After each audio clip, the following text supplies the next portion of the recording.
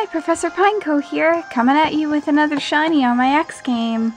Uh, so, I was, um, I just caught a shiny Honedge recently, like, or just today, and then I was just I deciding I was going to try a repel trick, trick for Swirlix um, in my game, and uh, I got a Flabebe, which is awesome because I'm trying to complete the Kalos dex, and there it is, it's a yellow Flabebe, and this is going to be super duper cool to evolve. It's going to be yellow and blue. Um, and this is it's just gonna be awesome and oh wow and critical capture wow Flabebe was caught so yellow Flabebe um, I'm pretty sure that's the regular one on the route oh wow there she is um, this is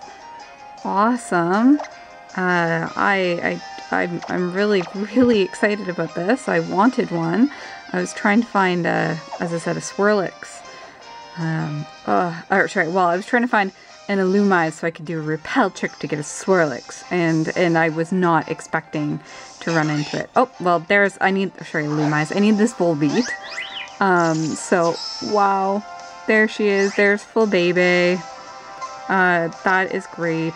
I Oh, I'm very, very happy about this. Uh, it's going to be really cool to watch her evolve. Um, and again, I'm going to have to... I'm going to have to get more stones. I don't think I have enough stones to even have a revolve. So, wow. Okay, well, thank you so much for joining me uh, for yet another shiny. And uh, we'll zoom out here because I won't I won't make you watch while I try to catch this Volbeat. Um, that's not very exciting. So yeah, uh, sorry, get my hand in the way here. Uh, yeah, this is this is just insane. Uh, thank you, thank you. Oh, have a great day. Bye.